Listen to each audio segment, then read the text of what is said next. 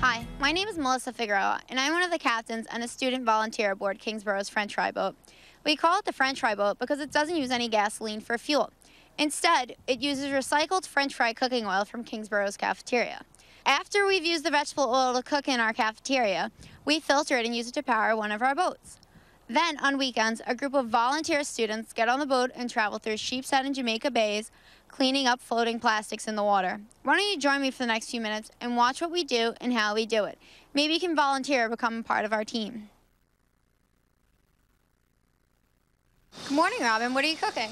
I'm cooking hand-cut fresh french fries. What happens to the oil after you've used it to cook?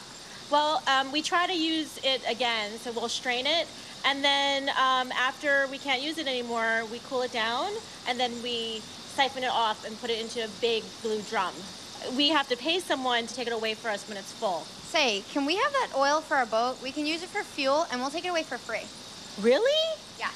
So you'll take it away for free. Is it good for the environment as well? It's absolutely green. Awesome. That sounds like a win-win for everyone. Great. Okay, let's go.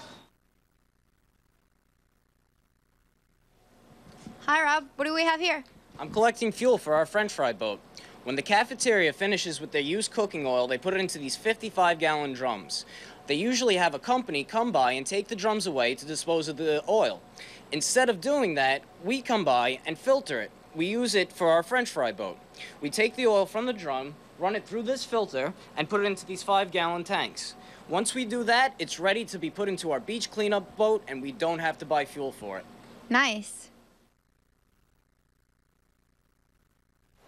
Hi, Captain Delernia. What's going on here? Hi, Melissa. Uh, we're uh, doing man overboard training.